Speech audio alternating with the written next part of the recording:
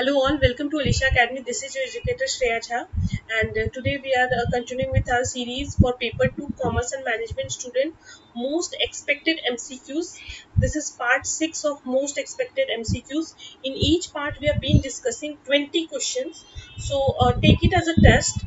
Uh, attempt the questions with us and then uh, try to match the answers. Do not forget to mention your scores in the comment section. This will also motivate us to have uh, uh, more and more MCQs on the platform for you. So start करते हैं with our first question. Vidyanathan committee reports relates to the revival of committees uh, के questions जो है बहुत ही ज़्यादा important है। आपको सारी कमिटी जितना ज़्यादा से ज़्यादा हो सके स्टैटिक भी और करंट में भी आए हुए कमिटीज सारे कमिटीज को जो है एक पेपर पे लिख के लास्ट मिनट रिवीजन करनी है। ये ये सारे फैक्चुअल डेटा है।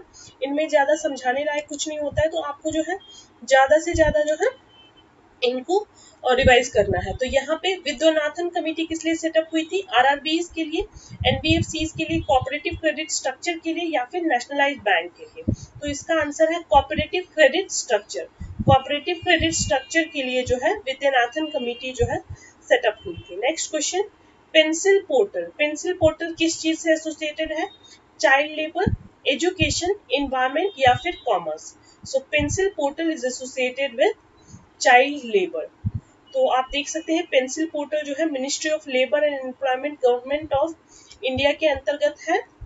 Next question who is the governing body for new pension scheme new pension scheme के लिए गवर्निंग बॉडी कौन सी है? SEBI securities exchange board of India या फिर आरबीआई एफएमसी या फिर P F R D A so इसका जो आंसर है वो है P F R DA that is Pension Fund Regulatory Development Authority.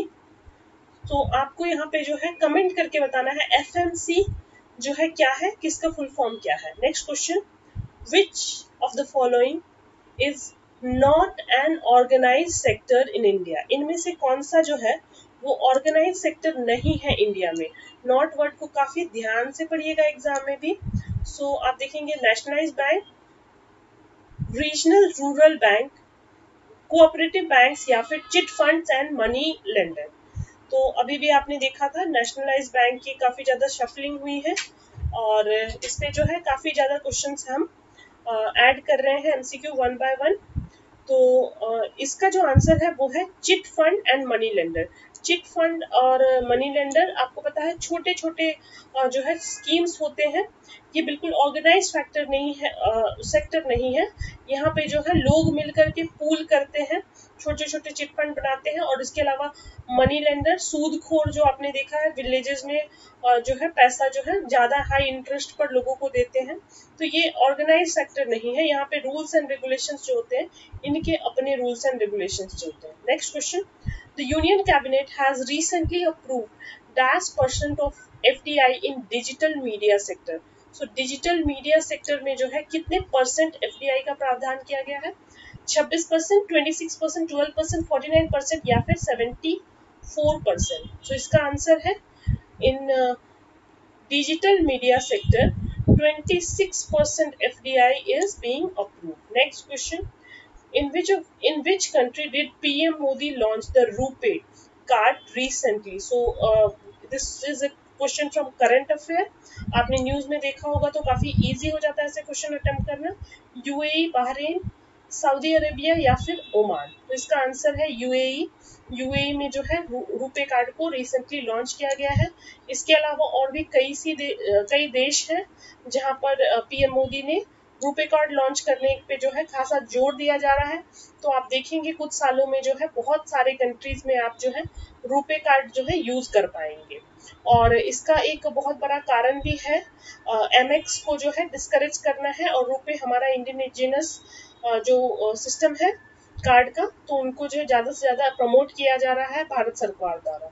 Next question the RBI has decided new business timing for RTGS RTGS is real time gross settlement so what are the new timings for um, rtgs so that is 7 a.m to 6 p.m is a new timing earlier i believe 8 8 a.m होता होगा एक बार check करके हमें comment करके बताइएगा तो इसको जो है एक्सटेंड किया गया है next question what is the main objective of training method is the main objective of training method क्या है introduction of new technology to earn money to obtain property या फिर accounting तो इसका आंसर है इंट्रोडक्शन ऑफ़ न्यू टेक्नोलॉजी जब भी कभी भी आपने देखा होगा नई तकनीकी जो है इंट्रोड्यूस किया गया है तो उसके लिए सबसे पहले रिक्वायरमेंट होती है ट्रेनिंग की नो हाउ की.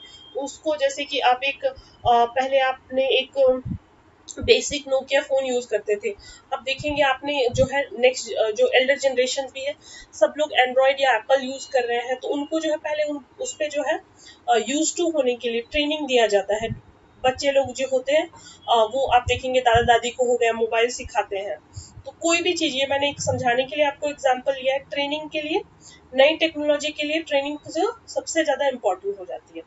The I D B I underwrites and IDBI के फ़ंक्शंस की बात की गई है आईडीबीआई क्या करती है? अंडरराइट करती है and dash the shares and debentures of industrial concern imposes on subscribe to targets या फिर नन ऑफ़ दी सो इसका आंसर है सब्सक्राइब टू तो आईबीआई आईडीबीआई जो है, न केवल अंडरराइट करती है, बल्कि ऑल्सो सब्सक्राइब करती है शेयर्स और डिवेंचर्स को एक एंटरप्राइज के next question dash refers to the process of removing और stripping the legal status of a currency तो इसको क्या कहते हैं? इस टर्म को डिजिटलाइजेशन कहते हैं फाइनेंशियल इंक्लूजन कहते हैं डीमोनेटाइजेशन कहते हैं, या फिर माइक्रो फाइनेंस कहते हैं। इसके ऑप्शंस जो है वो काफ़ी अच्छे हैं और इन सारे ऑप्शंस में से कोई भी ऐसा एक टर्म है जिसका मीनिंग आपको क्लियर नहीं है तो क्लियर ज़रूर कर ले क्योंकि एग्ज़ाम में जो है कॉन्सेप्चुअल क्वेश्चंस बहुत सारे आते हैं। फाइनेंशियल इंक्लूजन क्या होता है? डिजिटलाइजेशन क्या होता है? या फिर आप बात करें डीमोनेटाइजेशन या फिर माइक्रो फाइनेंस की तो यहाँ पे बात करें process of removing legal status of a currency की बात की गई है तो हम सब जानते हैं डिमोनेटाइजेशन जो है, देश में कुछ समय पहले हुआ भी था तो इसलिए ये टर्म जो है, काफ़ी इंपॉर्टेंट बन जाता है आपके लिए। आगे बढ़ते हैं। Next question the certificate which evidences as an unsecured corporate debt और शॉर्ट टर्म मेच्योरिटी एक टर्म की जो है डेफिनेशन यहाँ पे डिस्क्राइब की गई है। एक ऐसे टर्म की बात की गई है, जो अनसिक्योर्ड कॉर्पोरेट डेट या फिर शॉर्ट टर्म मेच्योरिटी की बात कर रहा है। क्या है वो? Certificate of deposit short term loan certificate treasury bill या फिर कमर्शियल पेपर तो इसका आंसर है commercial paper commercial paper is an unsecured corporate debt of short term maturity ये जो है कैरेक्टरिस्टिक्स होते हैं, ये शॉर्ट टर्म मेच्योरिटी के लिए होता है कमर्शियल पेपर और इसके अलावा जो है अनसिक्योर्ड भी होता है। तो ये सारे टर्म्स जो है आपको क्लियर होने चाहिए कि C D certificate of deposit जो है वो क्या होता है और उसके क्या फीचर्स हैं। इसके अलावा शॉर्ट टर्म लोन सर्टिफिकेट्स क्या होते हैं? टी बिल्स बोलते हैं ट्रेजरी बिल्स क्या होते हैं? और कौन कौन से बॉडी जो है इसको रेगुलेट करते हैं? कौन से बॉडी जो है इनको आ, आप मार्केट में लेकर आते हैं सब्सक्राइब करते हैं? तो ये सारा फंड आपको क्लियर होना चाहिए। बहुत बार ऐसे छोटे बेसिक बेसिक टर्म से क्वेश्चन आते हैं। आपको अगर चाहिए कि किसी पर्टिकुलर टर्म की डेफिनेशन क्लियर नहीं है, या उस पर आप ज़्यादा से ज़्यादा एमसीक्यूज चाहते हैं तो कमेंट करके हमें ज़रूर बताएँ। हम उन सारे टर्म्स को जो है आपकी जितनी हेल्प हो सके करने की पूरी कोशिश करेंगे। Next question which of the following is not the fund based business of commercial bank इनमें से कौन सा फंड बेस्ड बिज़नेस नहीं है? Overdraft facility issuance of letter of credit या फिर एक्सेप्टेंस ऑफ़ डिपॉजिट या फिर R T G S N E F T transaction तो R T G S N E F T transaction हमें सबको पता है। ये जो है, पैसों का लेन देन होता है रियल टाइम या फिर net N E F T के थ्रू डिपॉजिट्स की बात की गई है, यहाँ पे ओवरड्राफ्ट फैसिलिटी ओवरड्राफ्ट फैसिलिटी क्या होता है? इसको टर्म को ज़रूर क्लियर कीजिएगा, क्योंकि ये सारे टर्म्स फंडामेंटल आपके बेसिक टर्म्स हैं और इससे बेसिक से काफ़ी ज़्यादा क्वेश्चन आते हैं। तो इस क्वेश्चन का आंसर है issuance of letter of credit LC जिसको कहते हैं, वो फंड बेस्ड नहीं होता है। एलसी का क्या फ़ंक्शन होता है? एलसी होता क्या है? ये बहुत ही ज़्यादा इंपॉर्टेंट है। बहुत बार एग्ज़ाम में एलसी से क्वेश्चन आए भी हुए हैं तो एलसी आप टर्म ज़रूर क्लियर करिए next question skimming in e banking is a method of skimming क्या है? ये बेसिकली एक एग्ज़ाम क्वेश्चन है। So skimming is stealing credit card information skimming क्या होता है? पूरा प्रोसेस आपको क्लियर होना चाहिए। नहीं क्लियर है तो ज़रूर क्लियर करें। वीडियो ज़्यादा लंबा होने के चलते जो है, हम यहाँ पे ज़्यादा से ज़्यादा आपको एम प्रोवाइड कर रहे हैं। ये आपका काम है कि एमसीक्यू के हर एक टर्म्स को, जिसको भी हम इम्फेसिस डाल रहे हैं, या फिर जो भी आपको लगता है कि इसका मीनिंग मुझे नहीं आता है, ज़रूर जाके किसी भी सोर्सेज से जो है वो वेरीफाई कर सकते हैं। हमारे चैनल पे भी आपको काफ़ी सारी जो है इंफॉर्मेशन मिल जाएँगी। इसके अलावा अन अकेडमी पे Alisha ma'am is also there तो आप वहाँ से भी जो है पेपर वन पेपर टू के जो है फुल कोर्स मैम करवा रही है। प्लस में तो आप वहाँ से भी इसके कोर्स जो है क्लियर कर सकते हैं। यहाँ पर हम ज़्यादा से ज़्यादा एमसीक्यू कवर कर रहे हैं, आगे बढ़ते हैं। नेक्स्ट क्वेश्चन स्कीमिंग जो है स्टीलिक क्रेडिट कार्ड इन्फॉर्मेशन है। नेक्स्ट क्वेश्चन है बैंकिंग ऑम्बर्ड्समैन अब इससे भी क्वेश्चन आया हुआ है। तो banking ombudsman scheme is applicable किस पे ये एप्लीकेबल है? All schedules and commercial bank excluding RRB या फिर all scheduled and commercial bank including RRB RRB is what regional rural banks only public sector bank only private sector banks ombudsman scheme पहली बात तो है ombudsman क्या होता है? बहुत ही ज़्यादा आपको क्लियर होना चाहिए। और अम्बर्समैन किन के द्वारा अपॉइंट किया जाता है? तो अम्बर्समैन पे जो है, हम काफ़ी सारे एमसीक्यू जो है, आपके साथ डिस्कस करने वाले हैं। आगे आने वाले स्लाइड्स में भी और कुछ आगे आने वाले वीडियोस में भी है। हम ऑम्बर्ट्समैन टचअप करेंगे, क्योंकि ऑम्बर्ट्समैन से जो है एक या दो बार क्वेश्चन आया हुआ है एग्ज़ाम में। तो हो सकता है अलग अलग चीज़ें एग्ज़ाम में आ जाए। इस क्वेश्चन का जो आंसर है वो है all scheduled and commercial bank including RRB next question a bank is called scheduled bank scheduled bank क्या होता है? डेफिनेशन की बात की गई है। When its business has crossed 1000 crore mark its bench its branch cover network is over 100 it is included in second schedule of the RBI act या फिर when it complies with all three above तो क्या वो केवल second schedule में जो होना ज़रूरी है, या फिर वो इन तीनों का जो है मिश्रण होना ज़रूरी है एक शेड्यूल्ड बैंक कहलाने के लिए? शेड्यूल्ड बैंक कौन से होते हैं? तो इसका जो आंसर है वो है it is included in the second schedule of the RBI act तो इस चीज़ को आप याद रखिएगा।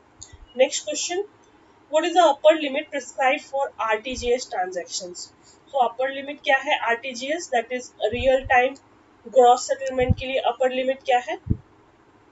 Five lakh ten lakh twenty five lakh या फिर नो प्रिस्क्राइब लिमिट तो इसका जो आंसर है वो है no prescribe limit bank to bank जो है ये वेरी करता है। दस लाख से लेके कोई बैंक पच्चीस लाख मानते हैं कोई बैंक दस लाख मानते हैं। तो एक्चुअल uh, में इसका जो है कोई लिमिट आरबीआई द्वारा प्रिस्क्राइब नहीं किया गया है। ये तो बात हो गई अपर लिमिट की। अब आपको मुझे कमेंट करके ये बताना है कि लोअर लिमिट क्या है? आरटीजीएस ट्रांजैक्शन के लिए, ये आप कमेंट करके हमें ज़रूर बताएँ। कमेंट करने से हमारा जो है एक इंट्रैक्शन बना रहता है और हमें भी काफ़ी ज़्यादा मोटिवेशन मिलती है कि ज़्यादा से ज़्यादा ऐसे एम आपके लिए डिफरेंट डिफरेंट टाइप्स के ला सकें। आगे बढ़ते हैं। नेक्स्ट क्वेश्चन है which of the following committees और टास्क फोर्सेज वो set up to suggest reforms in the banking sector काफ़ी इंपॉर्टेंट कमेटी की बात कर रहे हैं यहाँ पे। Swaminathan committee Narasimham committee Rajendra Sachar committee task force on infrastructure तो कौन सा था जो बैंकिंग रिफॉर्म्स की बात करता था? आंसर है नरसिम्हन कमेटी. इसी चैनल पे प्लेलिस्ट पे आपको नरसिम्हन कमेटी की वीडियो मिल जाएँगी। काफ़ी इंटरेस्टिंग वीडियो है तो आप चाहें तो इसकी अंडरस्टैंडिंग यहाँ से जा करके ले सकते हैं। आगे बढ़ते हैं। Banking ombudsman scheme was introduced in RBI with effect from 1995 अब ये एग्ज़ाम क्वेश्चन एग्ज़ाम में डायरेक्टली ईयर पूछा था दिसंबर uh, 2018 के एग्ज़ाम का ये क्वेश्चन था जिसमें ईयर पूछा था। यहाँ पे हम इस क्वेश्चन में क्या बात कर रहे हैं? एंड वॉज़ रिवाइज सो 1995 में जो है बैंकिंग ऑम्बर्ट्समैन आरबीआई द्वारा जो है इंट्रोड्यूस किया गया था और इसको रिवाइज किया गया था कब? 2002 तो ये दोनों ईयर आपको याद रखना है। तीसरे ईयर के बाद जो हम इस क्वेश्चन में पढ़ने वाले हैं। तो ये क्वेश्चन क्या कहता है? Current banking ombudsman scheme is introduce current banking ombudsman scheme जो है, कब इंट्रोड्यूस किया गया था? टू 1998 2000 2001 या फिर 2006 तो इसका आंसर है current banking ombudsman scheme was introduced in 2006 याद रखिएगा, काफ़ी इंपॉर्टेंट क्वेश्चन है। हो सकता है, इस बार आपको अगेन अगर ईयर से कोई क्वेश्चन पूछ दे। Next question the banking ombudsman scheme was introduced under अब ये कौन सा एक्ट है जो गवर्न करती है? Banking regulation act 1935 banking regulation act 1949 banking regulation act 1985 या फिर none of the above so इसका जो आंसर है वो है banking regulation act 1949 the last question banking ombudsman is appointed by तो इसको तो हमने पहले ही डिस्कस कर लिया है। Central finance minister reserve bank of India SEBI या फिर नन ऑफ़ द अबव इसका आंसर है reserve bank of India reserve bank of India जो है बैंकिंग ऑम्बर्ट्समैन को अपॉइंट करती है। अगर आपको ये टर्म क्लियर नहीं है तो सबसे पहले इस टर्म को जो है आप ज़रूर इसकी क्लैरिटी ले लें। बैंकिंग ऑम्बर्ट्समैन क्या होता है? कुछ एमसीक्यूज हो गए ऑम्बर्ट्समैन के जो हमने इस वीडियो में डिस्कस किए हैं। कुछ क्वेश्चंस और भी हम डिस्कस करेंगे अम्बर्ट्समैन के ऊपर आगे आने वाले स्लाइड्स में। तो फ़िलहाल इस वीडियो में के लिए बस इतना ही। वीडियो अच्छा लगे तो लाइक शेयर कमेंट करना ना भूलें। और ज़्यादा से ज़्यादा जो है कमेंट करके अपने स्कोर शेयर करें। इससे काफ़ी ज़्यादा मोटिवेशन मिलती है। All the best for your exams and that's all thank you